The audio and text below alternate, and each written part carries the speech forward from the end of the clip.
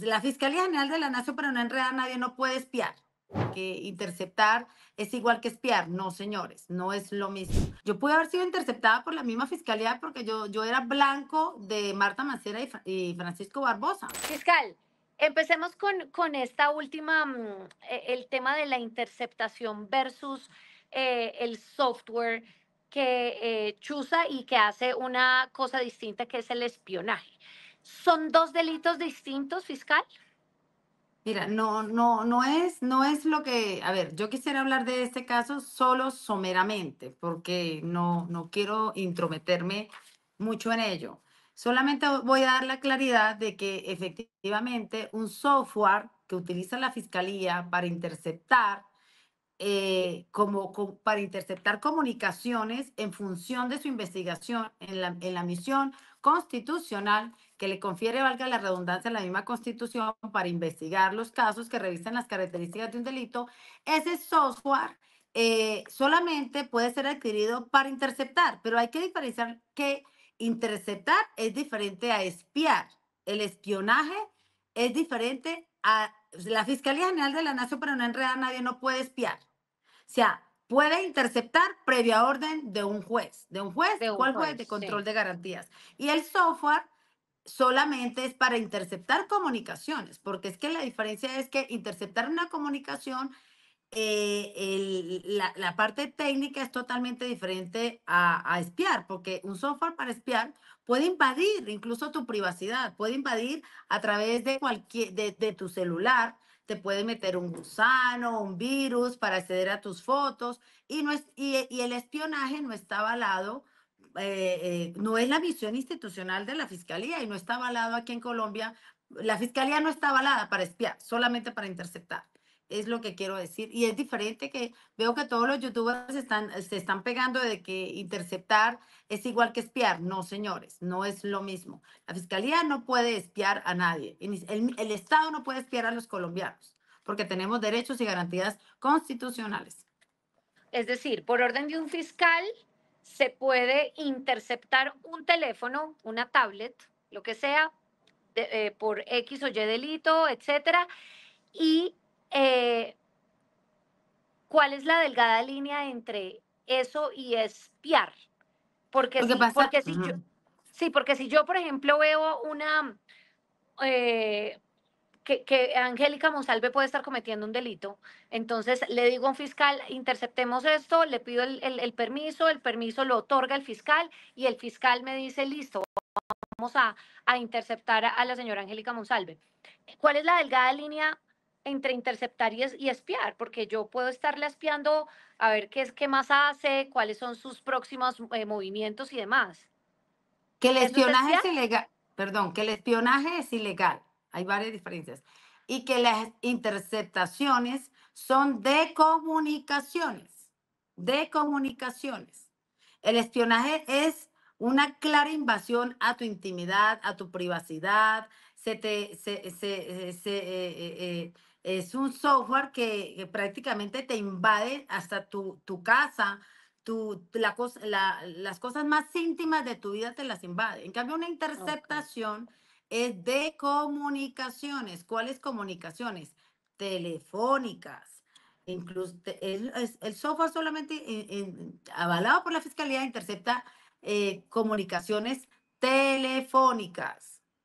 Nada más, no se puede interceptar de otra manera, porque también puedes interceptar eh, eh, la correspondencia, ¿sí? La correspondencia la puedes interceptar, pero, pero como estamos hablando de un software telemático, se interceptan son comunicaciones. En cambio, el espionaje no intercepta nada, sencillamente invade tu privacidad y es ilegal. O sea, ningún juez de la República, eh, en función de control de garantías, puede avalar el espionaje. ¿Por qué? Porque no está previsto el espionaje eh, ni en la Constitución ni en las leyes. ¿La Fiscalía del señor Barbosa espió? No sé si espió. Yo quiero ah, manifestar claramente lo que yo dije en el tweet. Eso es, no voy a decir ni palabras más ni palabras menos. Eso lo tiene que responder él a las autoridades cuando investiguen, tiene que darle una respuesta clara a los colombianos que estamos todos, yo por lo menos me siento asustada porque yo creo que, que si, si esa información se corrobora y de llegar a un resultado positivo, que efectivamente así fue, eh, yo pude haber sido interceptada. Yo pude haber sido interceptada por la misma fiscalía porque yo, yo era blanco de Marta Mancera y, y Francisco Barbosa. Yo era el blanco de ellos que hicieron todas las marramucias habidas y por haber para ver cómo te pedían la cabeza de la fiscal, abusando de un aparataje judicial. ¿Y por qué voy a dudar que ellos no iban a abusar también de espiarme a mí con Pegasus? Si la información que se me llegó tiene que ser corroborada, porque eh, eh, esa información, eh, eso que yo puse ahí, eso ocurrió, pero yo quiero que lo, que lo corrobore la autoridad competente. Ok, claro, y por eso también además pidió un derecho de petición, ¿verdad? Hizo un derecho de Sí, petición claro. para que le, le- a la fiscalía para que le entregue la información.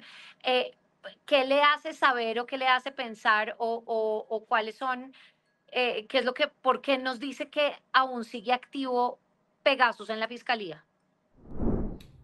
Buenas. Paso por acá para darles una pausa y decirles que se suscriban rápidamente acá. Clic, suscríbanse. Por una información que se me llegó y no la voy a aclarar aquí, Camila. Recuérdese que eh, eh, el, gobierno de Israel no negó eh, el pago de ese software. No lo negó y no negó efectivamente que se vendió a Colombia. Entonces, no, claro, eh, no, no, no, no solo no lo negó, sino que pues eh, hay información de que sí hubo esa, esa compra. Claro, hay tanta evidencia que tiene que ser investigada porque los colombianos estamos cansados de que todo se quede en los medios de comunicación y, y- y- y nada pase y el apartaje judicial no funcione. Porque es que vemos eh, a estos altos funcionarios que salen de sus cargos y hacen lo que les da la gana con las instituciones y no vemos que respondan, que, respo- que respondan. El aparataje, el aparataje judicial no se mueve en contra de ellos para investigarlos. Se mueve en contra del ciudadano que está ahí, eh, el humilde ciudadano. Claro, claro. Además, sabe que mm, tenemos derecho como, como colombianos a saber de dónde se adquirió esa plata, ese dinero, de dónde se sacó, porque si es un lavado de activos, esto es eh, clave que lo sepamos los, los ciudadanos. Eh, tal vez tiene alguna información de eso que nos pueda dar. No, no quiero decir declaraciones irresponsables. Lo que sí quiero decir es que queremos saber si efectivamente el software de la fiscalía se actualizó y si esa actualización se hizo también, además de para interceptar, también para espiar.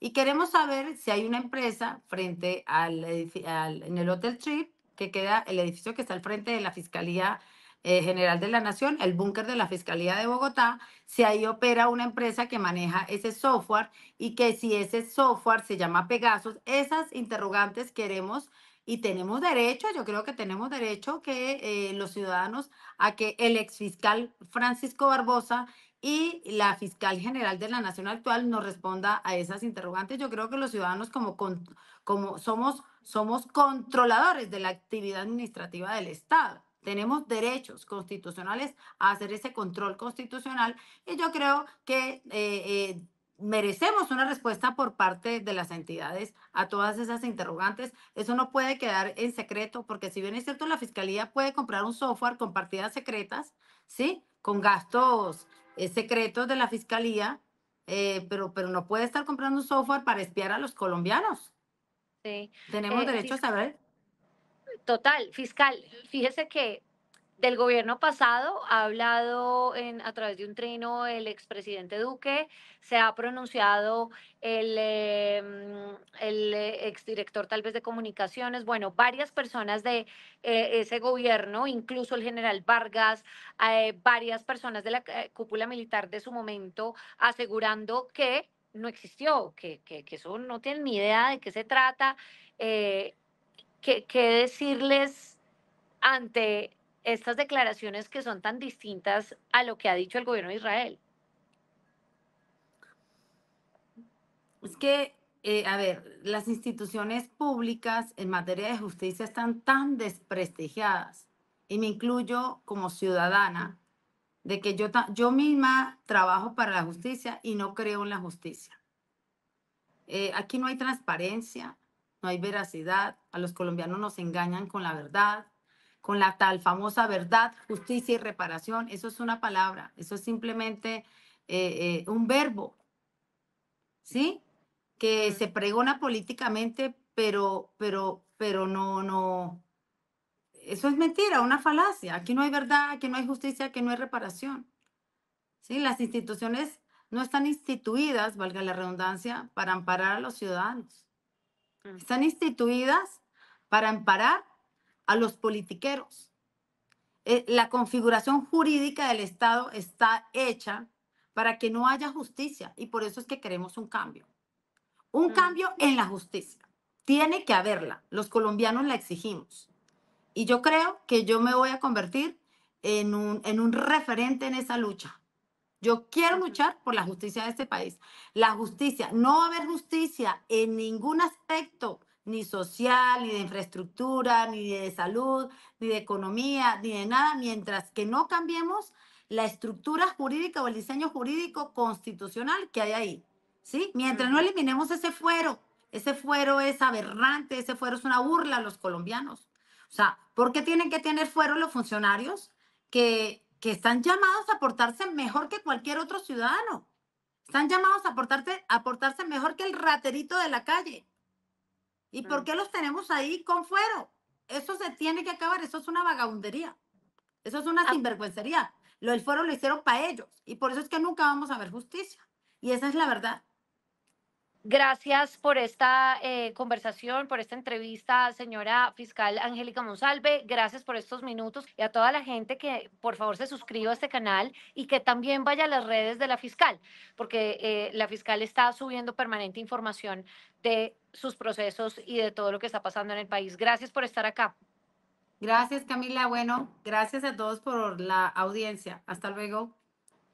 Gracias a toda la gente. Nos vemos más adelante. No se les olvide suscribirse. Chao, chao.